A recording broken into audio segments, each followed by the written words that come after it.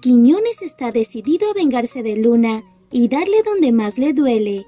Y este martes veremos que se acerca Lucrecia en el bar y empieza a contarle sus problemas. Él intenta que ella sienta pena por él por haber sido abandonado por Azalia.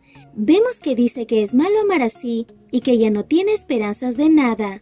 Así que Lucrecia intenta consolarlo y le responde que sin esperanza la vida ya no tiene ningún sentido. Ambos están tomados de las manos, pero cuando salen del bar se encuentran con el coronel Luna, quien se molesta con su hermana. Así que Lucrecia le hace frente y defiende a Quiñones, haciendo que éste se burle de Luna. Por otro lado, el padre Hilario tiene una premonición y le dice a Malverde que morirá al día siguiente.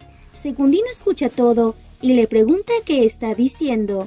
Malverde también le pregunta si está diciendo la verdad y se queda muy pensativo, pues cree que su final podría llegar. Y tú dinos, ¿crees que Lucrecia termina en los brazos de Quiñones? ¿Malverde podría morir? Déjanos tu comentario y si te gusta mi contenido no olvides suscribirte a mi canal.